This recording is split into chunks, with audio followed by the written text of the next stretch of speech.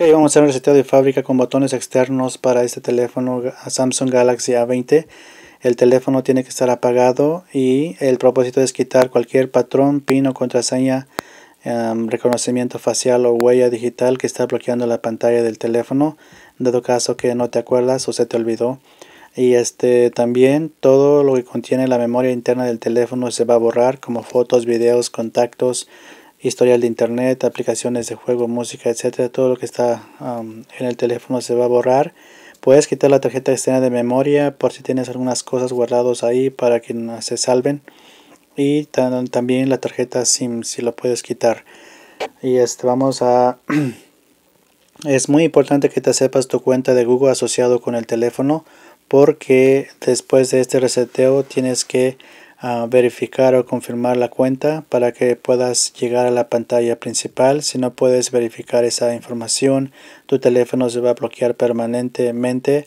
Si lo compraste como usado ah, o algún amigo o amiga, te sugiero que le pides esa información solo para verificar y ya después tú puedes registrar una cuenta personal ah, ya que ya existe o crear una nueva cuenta ok entonces vamos a empezar con el teléfono apagado. Vamos a usar el botón de volumen arriba y botón encendido presionando los dos botones a la misma vez. Cuando vibra aparece el logo Samsung soltamos el botón de encendido sin soltar el botón de volumen arriba. Y cuando aparece un menú con letras azules soltamos el volumen. Ok listos. Volumen arriba y botón encendido. Vibra soltamos el botón encendido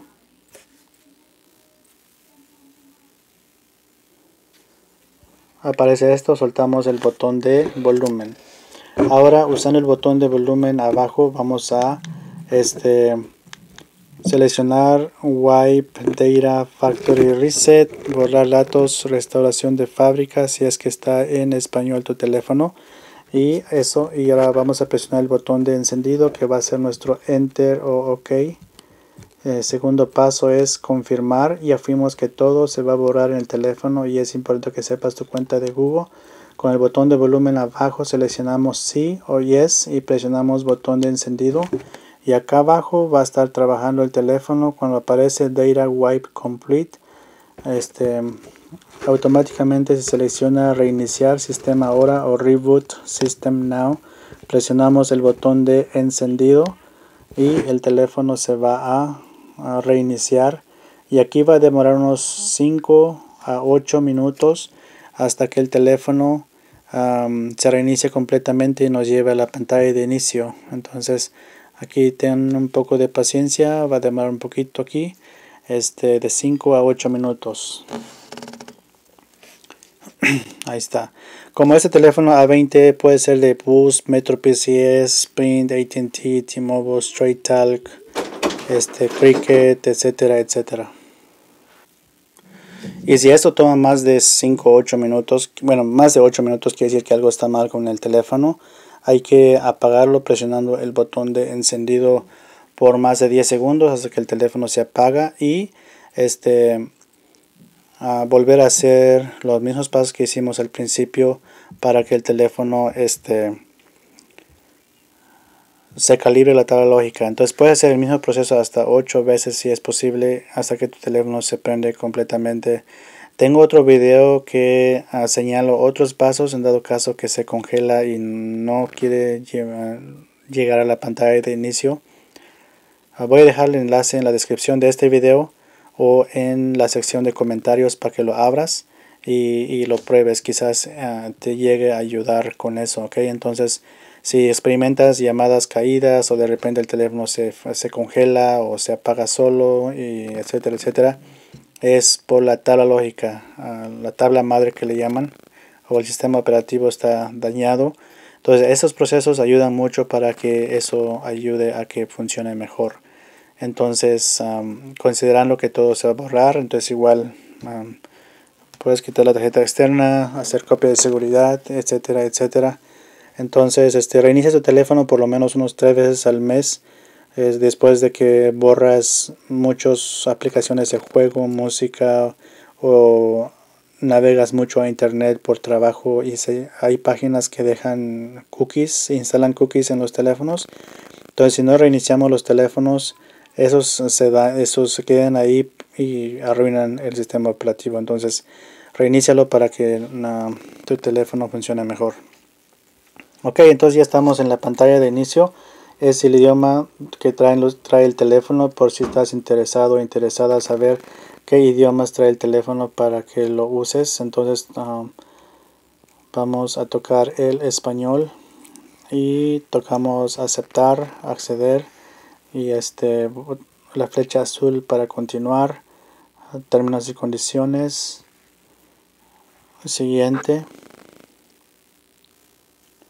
Ah, si tienes una cuenta de Wi-Fi puedes registrarlo o puedes omitir. Si tienes una tarjeta SIM activada en tu proveedor de servicio, por ahora voy a tocar omitir, omitir de todos modos.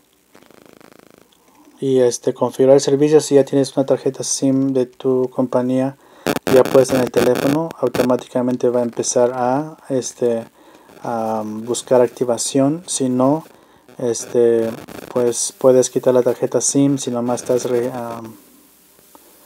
nomás estás este, borrando el teléfono para porque tienes otro.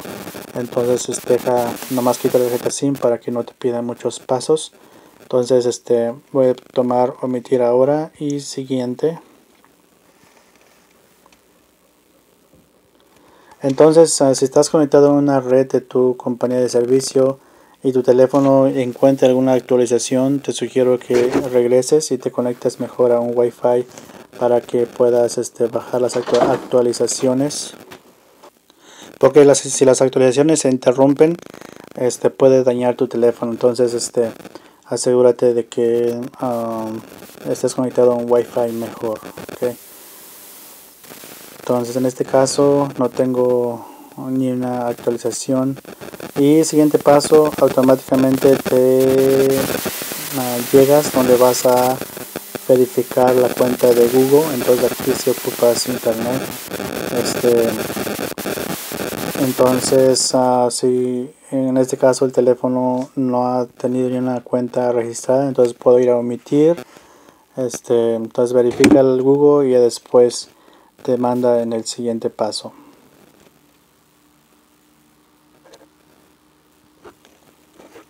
omitir de todos modos.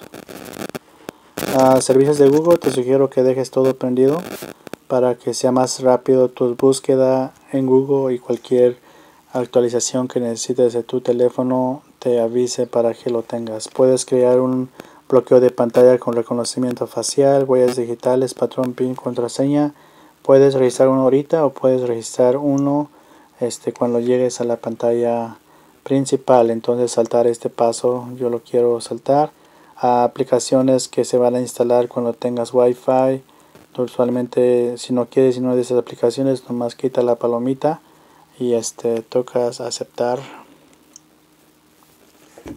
Y ya listo aquí ya terminamos de uh, configurar este teléfono. Gracias por escoger mi video y te invito a que te suscribas a mi canal.